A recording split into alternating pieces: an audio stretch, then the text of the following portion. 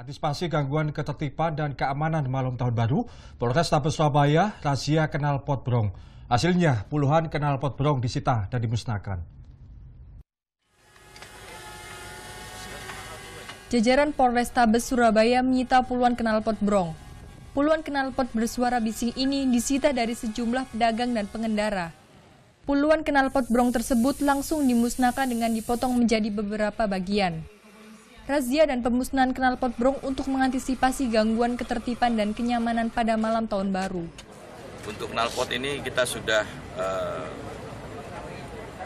menyambangi, memberikan apa arahan terhadap bengkel, penjual, dan termasuk pemakai supaya tidak lagi menggunakan knalpot brong yang nyata-nyata mengganggu kenyamanan warga kota Surabaya.